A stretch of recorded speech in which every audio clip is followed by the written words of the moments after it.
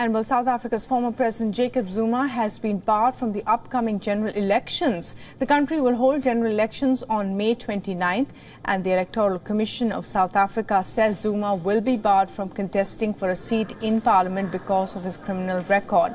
Now, according to South Africa's constitution, any person convicted for more than 12 months isn't allowed to hold public office. Zuma served as president from 2009 to 2018. He was forced out of office uh, in 2018 because of corruption allegations but still wields political clout. Zuma was sentenced to 15 months in jail in June 2021 after refusing to testify to a panel probing corruption under his presidency.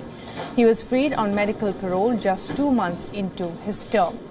Zuma's new party, MK, is named after the ANC's former military wing.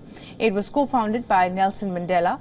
The ANC had wanted South Africa's electoral body to deregister MK, but that request was rejected.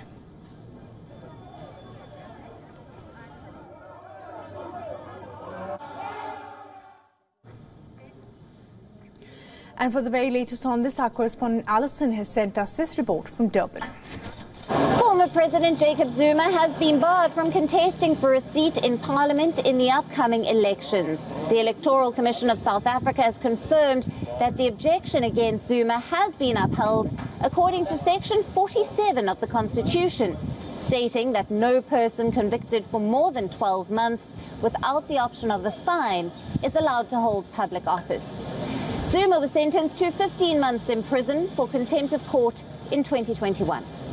The IEC chairperson, Mosotho Moepya, has said that Zuma's Umkhonto weSizwe party has been informed that he cannot contest. He was among eight candidates who had been objected against.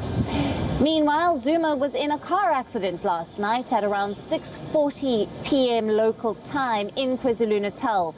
The Presidential Protection Services have confirmed that he was not hurt and is doing well. I'm Alison LaGrange coming to you from Durban, South Africa for WION World is One.